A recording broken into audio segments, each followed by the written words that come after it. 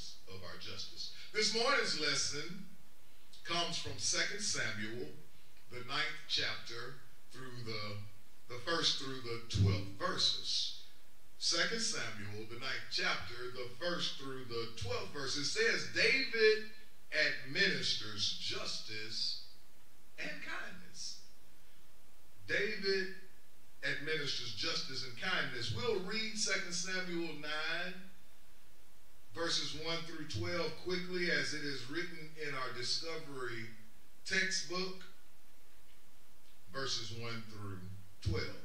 And David said, Is there yet any that is left of the house of Saul, that I might show him kindness for Jonathan's sake? And there was of the house of Saul a servant whose name is Ziba, and when they had called him unto David, the king said unto him, Art thou Ziba? And he said, Thy servant is he. And the king said, Is there not any yet any of the house of Saul that I may show the kindness of God unto him? And Ziba said unto the king, Jonathan has yet a son, which is lame on his feet, though. And the king said unto him, Where is he? And Ziba said unto the king, Behold, he is in the house of Machir, the son of Amiel in Lodabar.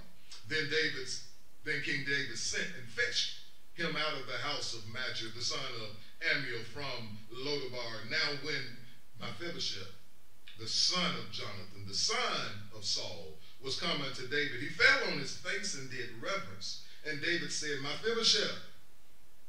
And he answered, Behold, thy servant. And David said unto him, Fear not, for I will surely show thee kindness for Jonathan thy father's sake, and will restore thee all the land of Saul thy father, and thou shalt eat bread at my table continually. And he bowed himself and said, What is thy servant that thou should look upon such a dead dog as I am? Then the king called to Ziba, Saul's servant, and said unto him, I have given unto thy master's son all that pertains to Saul and to all his house. Thou therefore and thy sons and thy servants, thou, still, thou till the land for him, and thou shalt bring in the fruits, and thy master's son may have food to eat. But my Mephibosheth, thy master's son, shall eat bread always at my table. Now Ziba had fifteen sons and twenty servants. Then said Ziba unto the king, According to all that my lord the king hath commanded his servant, so shall thy servant do. As my Mephibosheth, the king said the king, He shall eat at my table as one of my one of the king's sons. And my Mephibosheth had a young son, whose name was Micah. And all that dwelt in the house of Ziba were servants unto my Mephibosheth.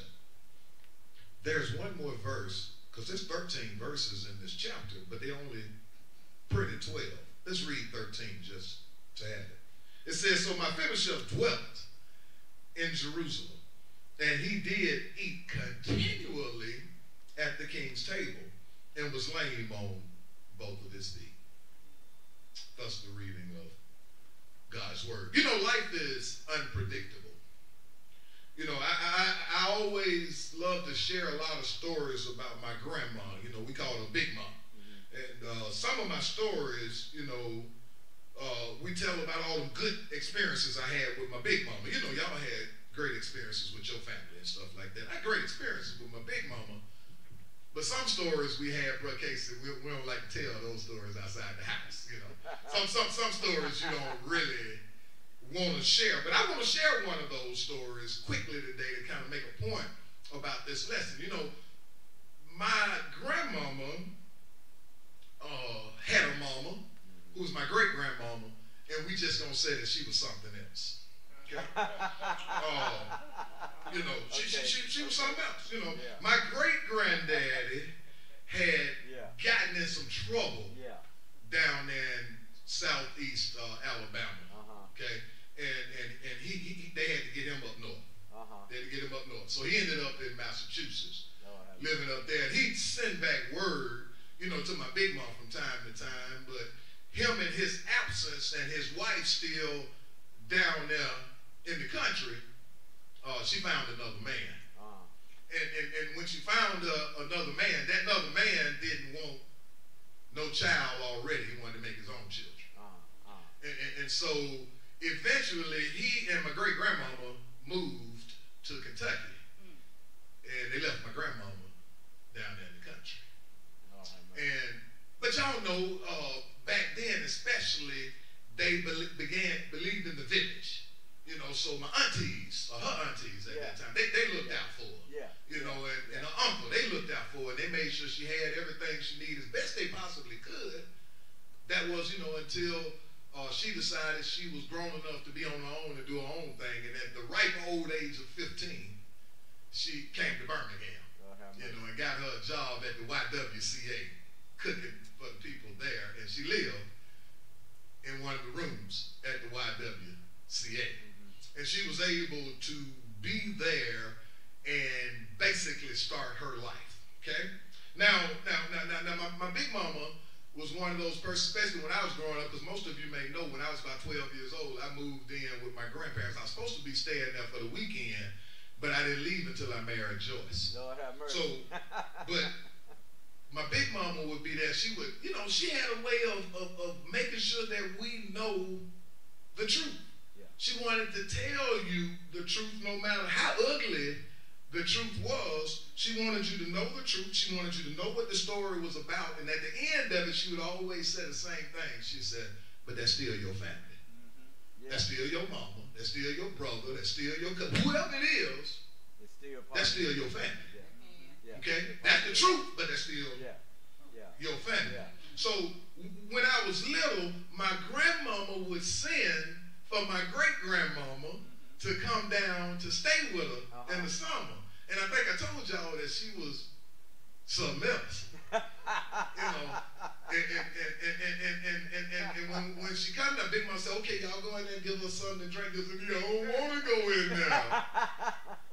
Because she, she wasn't always nice. Yeah. She didn't have that spirit. Like my, my big mama had a, had a, the gift of hospitality. Yeah. Everybody wanted to be around her. Everybody wanted to share. Everybody wanted to be blessed. We didn't always feel the same way yeah. about my great grandma, but my big mama said, but that's still your great grandma. Yeah. yeah. Go get her what she need. Go look out for whatever what else she asks for. Bring it to her. My grandmama wanted her mama to be blessed by her great grandchildren and beyond, regardless to what had happened that got us to that point. Right. Didn't really matter. We still family. You still look out for each other. So it, it, it, made sense to me.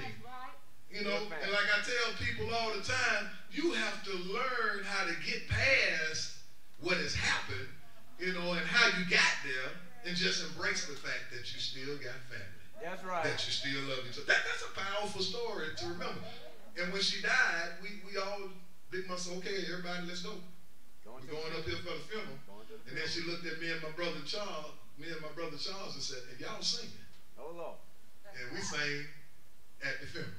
There was no, that was a, that okay. was no question. That was, a, that was a blessing for me. Yeah. That was a blessing for me. So what's a friend, right?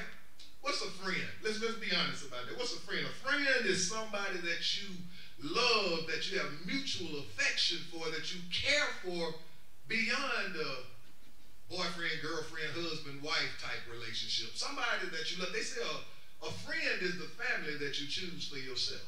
Yeah. You get to be that. See, David and Jonathan in our story today were friends. See, David and Jonathan had an enduring, life-changing, life-driven friendship. Yeah. They were close. They were tight. Okay? Now, when you know the real story, though, you say, well, maybe should they have been tight? I, I, I don't know. David was a little boy who had found Jonathan's dad's favor when he killed Goliath. Mm-hmm. He was just a little ruddy, poke, little no good shepherd boy, stank, yeah. hair ain't combed, you know, ruddy, just nasty little boy who got lucky with a slingshot, mm. if you will. Yeah. Saul bragged about David. He said, oh, look at this boy here. This boy came in. He didn't have a scared bone in his body. And he stood toe-to-toe to Goliath, and he took Goliath out. And Jonathan, his son, was sitting there listening to his dad and dope all over this little boy. And, I, and we talked about during Sunday school, well, you would think Jonathan would be jealous. Why are you talking about this boy all the time? And I've been out here commanding your armies all this time. Yeah. I've been taking folks down all this time. I've been winning battles all this time. You ain't never bragged about me like you bragged about David. Yeah. But yet, Jonathan didn't get jealous. Jonathan embraced it. Jonathan said something that sticks with me and that I hope sticks with you when you look at sometimes you can look at folk and you can see the hand of God on them. Lord have mercy. You can just see that it's something about that person that God is using that person to deliver a message, to make a change, to make life better. God is using that person. And David, as you were, Jonathan recognized that in David. Yeah. He said something special about David. So I ain't jealous that my daddy brags about David. Matter of fact, I want to be close to David. Yeah. Yeah, I'm, I'm one of those. When I when I see God using you and making life better for you and and, and, and, and uplifting you even in bad situations, not only do I want to celebrate you, I want to get close to you too. I want some of that. Yeah. You know, some Yeah. blessings have a way of kind of rubbing off, you know, yeah. kind of Yeah. leading That's off. right. Some, sometimes I, I, I want to be a part of that blessing too. And that's what Jonathan was. Yeah. Jonathan said, I want to be a part of that blessing. Think about this though. Jonathan was the oldest son of Saul, which means he was the rightful heir to be the next king. That's right.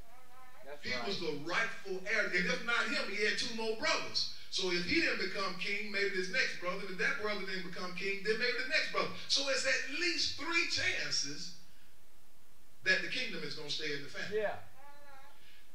During a battle, as they continued to fight against the Philistines, things changed. Yeah. All three brothers were killed in battle.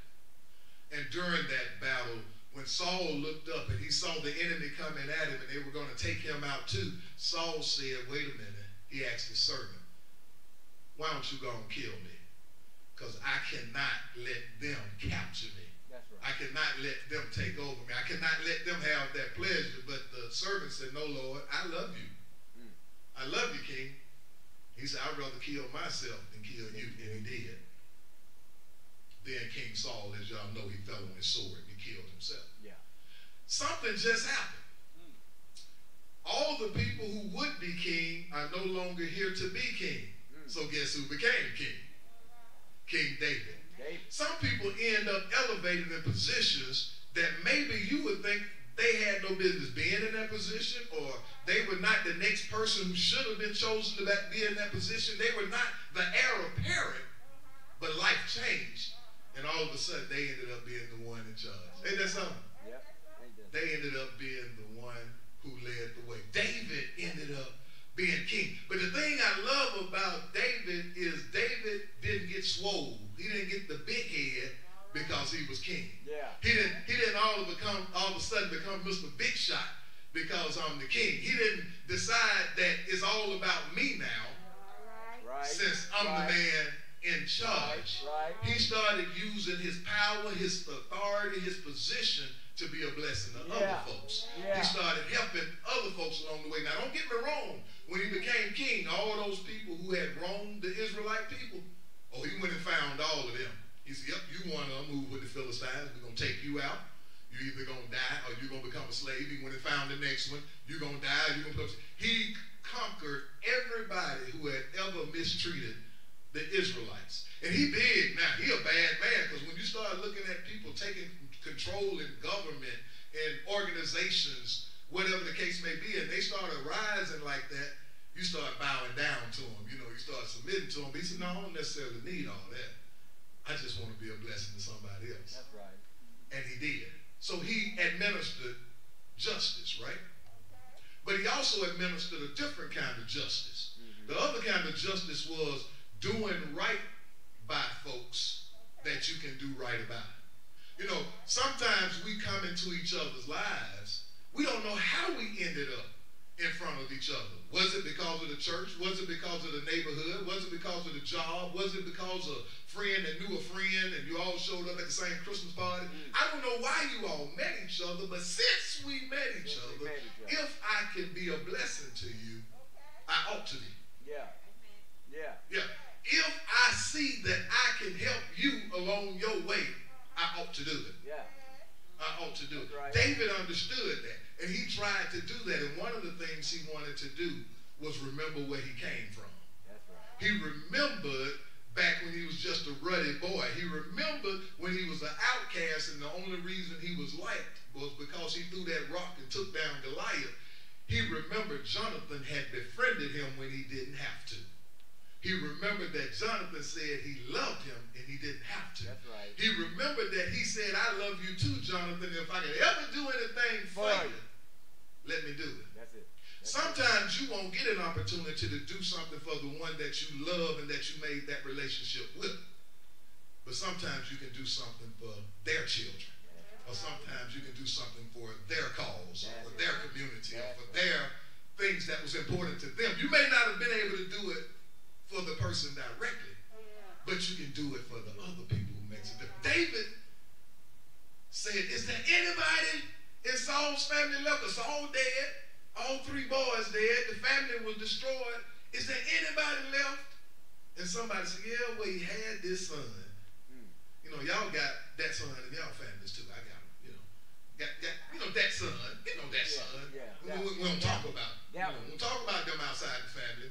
Matter of fact, we don't even bring them up. We conveniently forget who they are because maybe they got off on drugs or maybe uh, they got in a lot of trouble with the prison or, or, or, or, maybe they got some kind of sickness that we don't like the public to know. You know, some sometimes people used to have certain family members that they keep locked up in a room and you don't necessarily get to go meet them.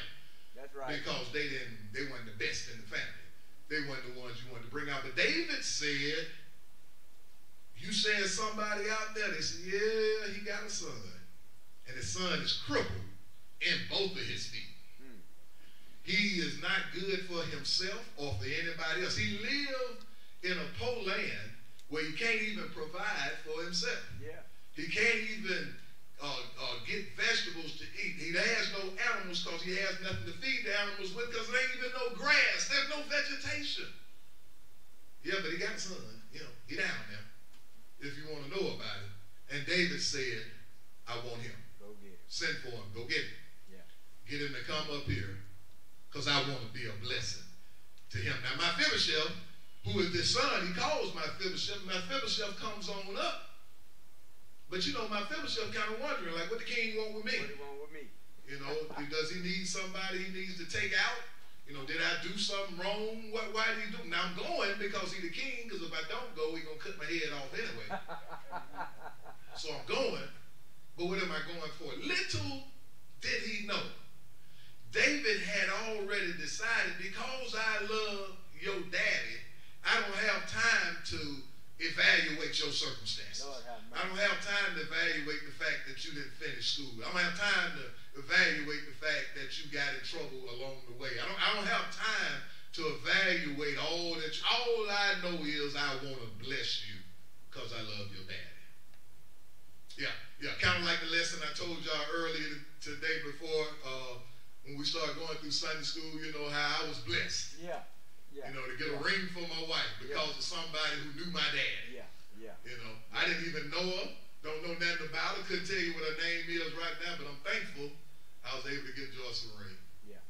I was able to get engaged. All because yeah. she knew my dad. Sometimes we are blessed not because of what we've done, not because of who we are, not because of what we achieve, but it's who we are connected, connected. to. Connection. The connection. The connection. The connection yeah. is what connection. makes the difference. That's right. It makes all the difference. And we have to be able to realize that if you can help somebody, help somebody. That's right. But also realize that some of the blessings you've gotten is because of a blessing of somebody else. Okay? David was great and powerful. Great David had made this pact with Jonathan he said, I'll always be there, and he tried his best to do everything he could to be there. Oh, no, he couldn't be there for Jonathan because Jonathan dead. Okay. Yeah. But he could be there for Jonathan's son. Mm-hmm. You see, justice is more than doling out punishment for the wrong that people have committed. Justice is also about making things right, simply because you're in a position to make it happen. You know, I often say to people when they ask me how I'm doing, I say, oh, I'm doing perfect. You know, and people talk to me, they laugh. The person yesterday said, well, perfect. I don't know about all that, but I'm all right. I said, well, I actually do know about all that. Mm-hmm. I said, because I opened my eyes this morning and I woke up.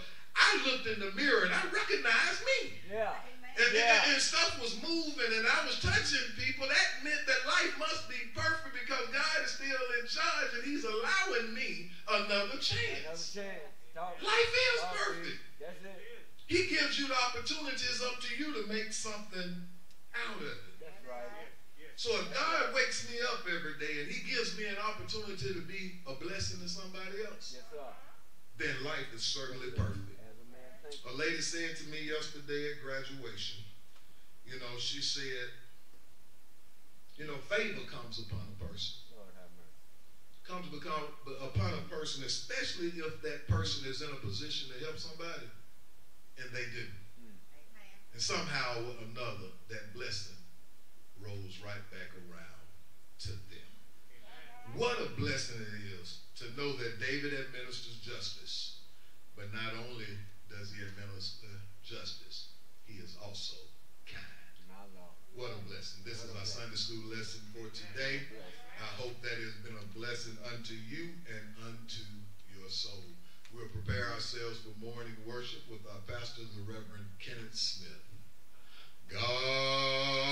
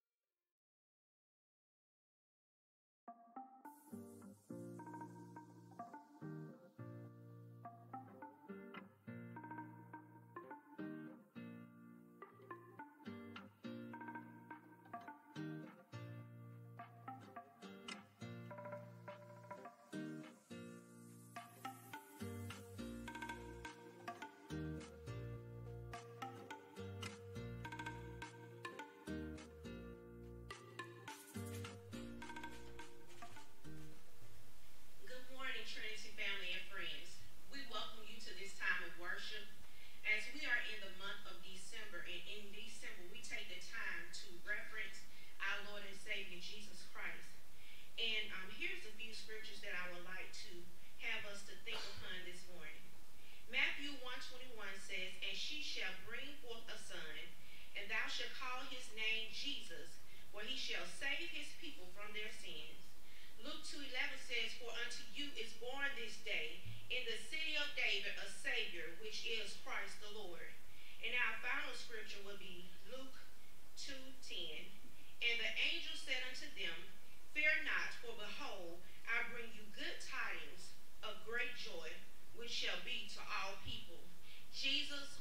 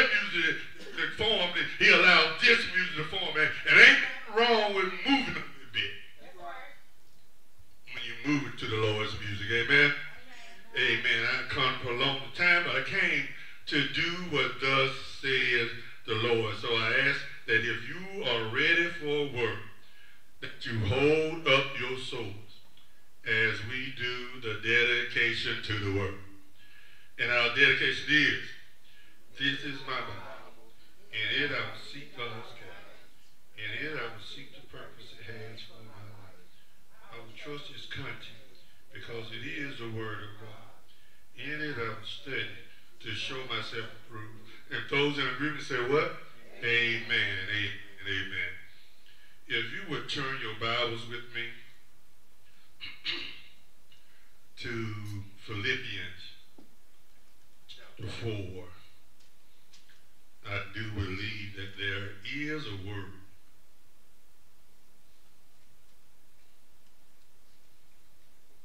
for us on today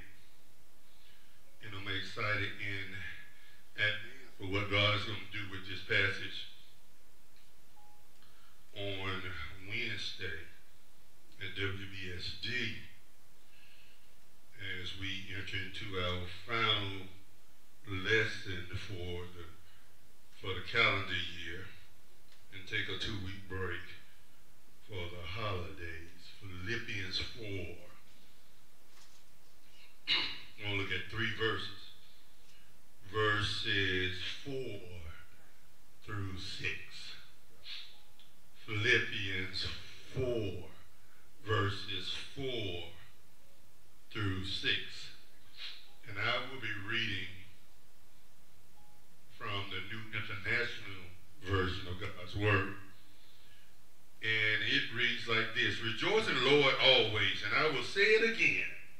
rejoice. Let your gentleness be evident to all, the Lord is near. Do not be anxious about anything, but in every situation, by prayer and petition, with thanksgiving, present your request to God. The word of God for the people of God, as God's people say, Amen. Church, we are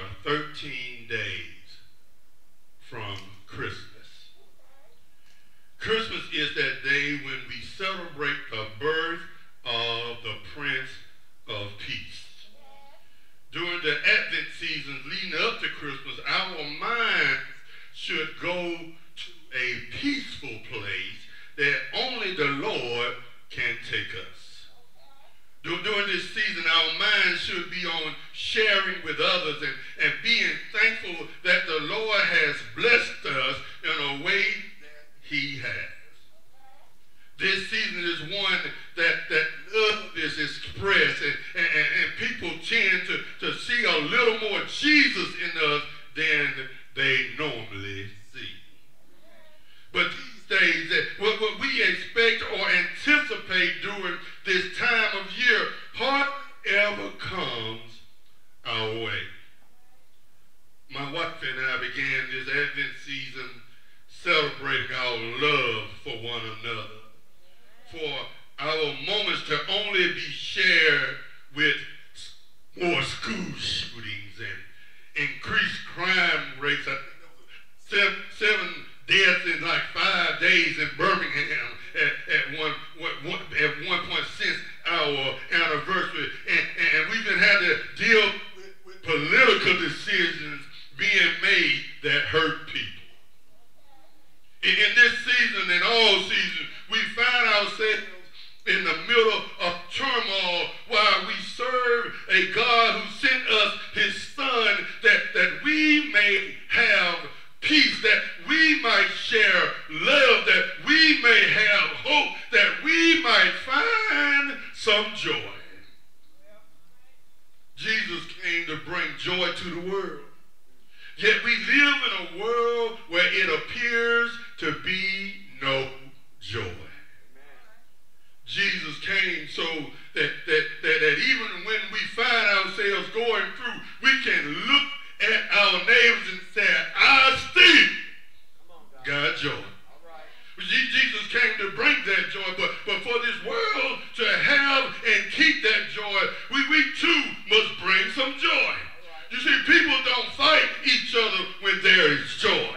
Uh, people don't hate each other when there is joy.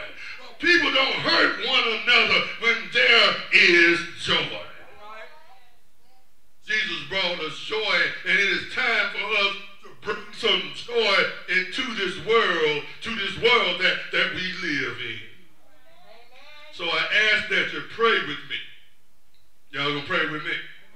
I ask that you pray with me as I, I share from the subject, bringing joy to the world.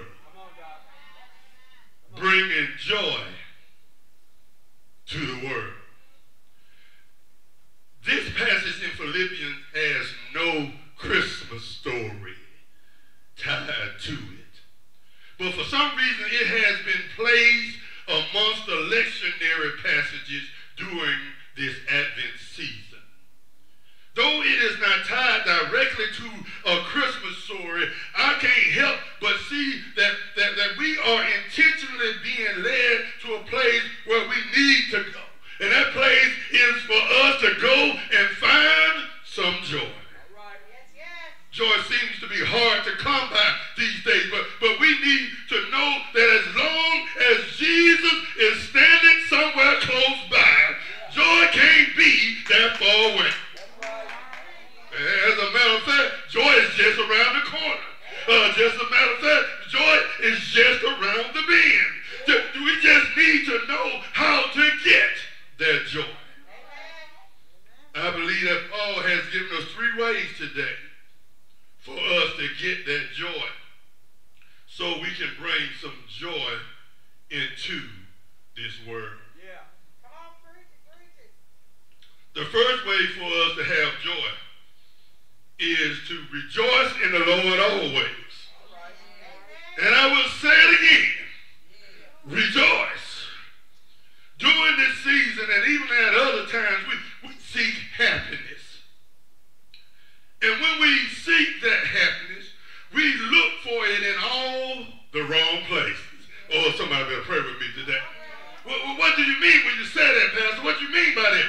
During this season, what type of gifts we receive or how many gifts we receive tends to determine for us how happy we are. Some of our happiness will be determined by who spend who we spend our time with or, or how sweet and, and kind they are to us personally. Now know that I'm not saying that there is anything wrong with any of this. There is nothing wrong with being happy. But today's message isn't about finding happiness. It's about finding joy. See, someone may have it in their minds that, that happiness and, and joy are, are the same thing, but, but, but, but we need to know today that they may be distant cousins, but they definitely are not the same thing. A lot of people who, who, who have gotten divorced were, were, were, were once happily married, but those who have joy in their marriages don't get divorces. Oh, y'all better pray with me today. Happiness floats on the surface of our lives and is easily disturbed by the storms of life.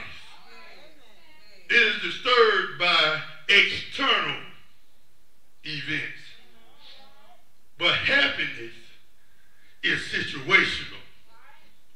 Joy, on the other hand, resides so deep within the soul that nothing can disturb it. True joy endures through disaster. It endures through disappointment. It endures through loss.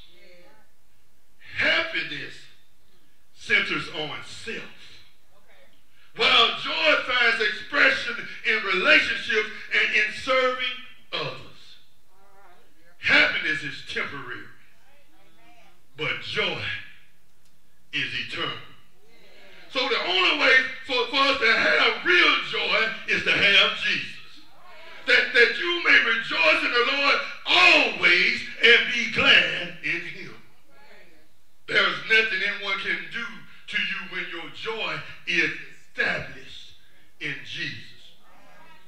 Y'all, you can lose your job and not be sad when you got joy. You can lose a loved one and have peace because you got joy. The doctor can come in the room and give you a bad report and it won't faze you because you got yourself some joy.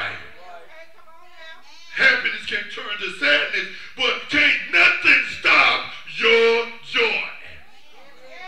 So rejoice the Lord always so that you can get and keep your joy. Be reminded that we aren't just getting this joy for ourselves. We ought to have so much joy that we can't keep it to ourselves. So the second thing I see that will help us bring joy to the world is to let your gentleness be evident to all. When the Messiah came to this world, he came as a babe,